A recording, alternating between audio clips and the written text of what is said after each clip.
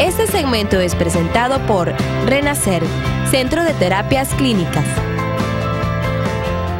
Hoy vamos a hablar de un tema muy importante como es la violencia doméstica y también el maltrato infantil. He invitado el día de hoy al estudio a Carmen Brenes, quien es consejera clínica de Clínica Renacer, y también a Alejandra López, quien es psicóloga infantil, eh, para abordar eh, pues ambas temáticas tan importantes en nuestra sociedad y mucha atención a los padres de familia.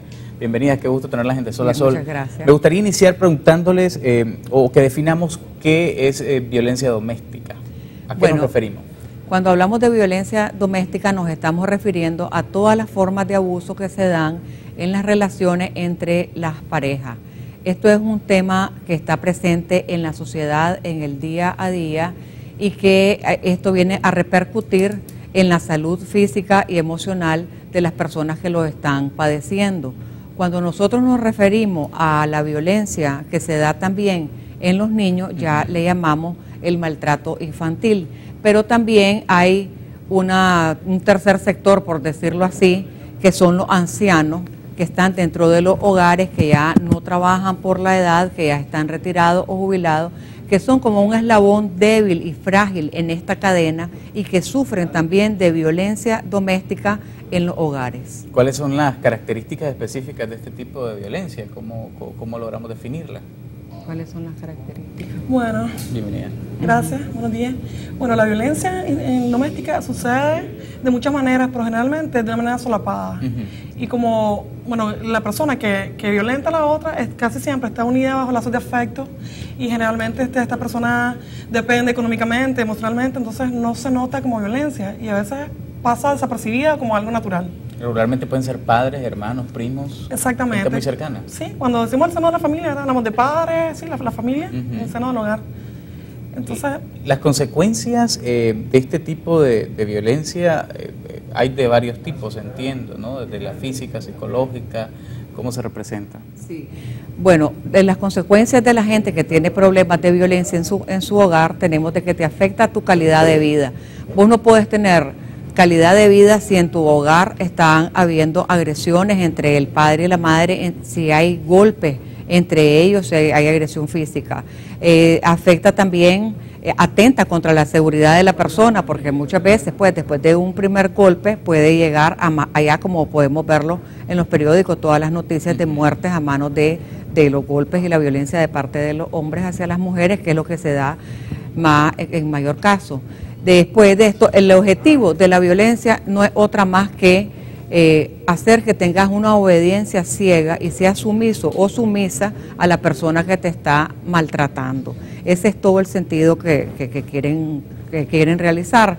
Y se dan diferentes tipos de violencia, que es la violencia física, que es cuando ya te, eh, hay moretones, hematomas, lesiones. Eh, violencia psicológica, cuando hay, porque hay ansiedad, hay depresión, muchas veces se, le presentan a la mujer abortos espontáneos o provocados después de una golpiza y, bueno, pues estos son los diferentes tipos de violencia.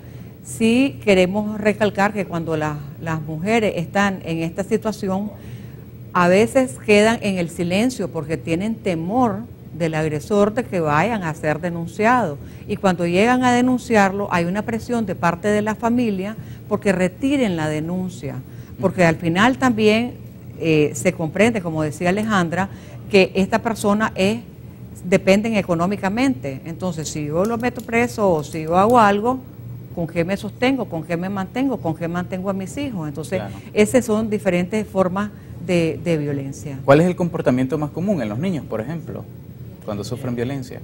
Bueno, lamentablemente la violencia es aprendida. Entonces, lo que ellos ven en casa lo van a repetir en el colegio. Entonces hay niños que tienen conductas violentas, este, son agresivos con otros niños, hacen humillaciones, agresiones verbales, críticas negativas a los otros niños y eso afecta a la, autoestima del que está siendo violentado. Este, ese es el caso que los niños este, tienden a, ser agresivos, pero también puede ser que el niño se aísle, se inhiba, este, no tenga muchas relaciones sociales, se vuelva tímido, puede ser de que tenga más rendimiento escolar y eh, puede ser casos totalmente opuestos. Puede ser que el niño presente problemas de conducta en la escuela y conductas agresivas. ¿Eso va a repercutir cuando llegue a ser adulto? Claro, porque lamentablemente este es un ciclo. La persona que sufre violencia tiende a repetirlo porque es lo que conoce. Y este niño creció de violencia, igual va a repetirlo, ya sea en el ámbito escolar, en la casa y en, en el ámbito social. Muy bien. ¿Qué, ustedes que son las expertas, ¿qué aconsejan a nuestra audiencia hacer en caso de que se presente ya sea violencia doméstica o maltrato infantil? ¿Qué es lo más recomendable? ¿Qué debemos de hacer primero? Bueno, primero que todo debemos de evaluar el riesgo que está, que está pasando la persona, tratar de detectar y reparar ese daño, brindarle protección, denunciarlo a las autoridades correspondientes y asistir a ayuda terapéutica. Pues, es decir, debes de asistir porque una de las características más comunes de las personas que tienen violencia es de que tienen temor, eh, tienen insomnio, se les presenta cefalea, eh, tienen ansiedad. Es decir, e, es una gama de todo lo que está pasando esta persona que incluso llega a tener un aislamiento social porque la persona que está, que está siendo agredida se va alejando no solamente de su familia, sino que también se va alejando de los amigos, de los vecinos, por aquello de la vergüenza que tener de que ha sido violentado, pues, y encima no, no haces nada, no actúas. Entonces esta persona queda en un aislamiento totalmente, pues queda dentro de su casa. Ahora, hay fases que se presentan dentro de la violencia. Uno es, eh, para continuar con lo que decía Alejandra, el ciclo de la violencia. La primera fase se da, y lo vamos a ejemplificar fácilmente como una olla de presión. Se van dando todas las situaciones posibles para que te pongas furioso, para que te pongas iracundo. Entonces, eso es una primera fase. La segunda fase es cuando ya esto explota y ya se da el episodio, ya llega lo más agudo de este tema.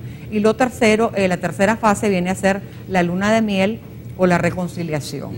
Entonces, ¿qué sucede en esta parte de la luna de miel?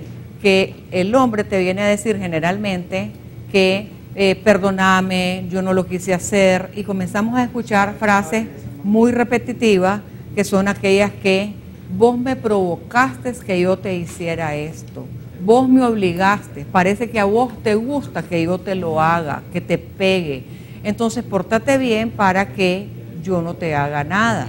Entonces, nuevamente la mujer se engancha en esta mentira y vuelve a comenzar nuevamente este ciclo. Y en este ciclo es que van incluidos también los niños, porque muchas veces los padres pegan en presencia de los niños. Entonces, este niño que estaba presenciando esto, que dice, esta es una forma de comunicación, esto es algo que yo lo estoy viendo y lo repito. Y después pegamos el grito los padres cuando nos llaman del colegio y nos dicen, este niño está siendo agresivo, pues está presentando este, este, tipo de comportamiento.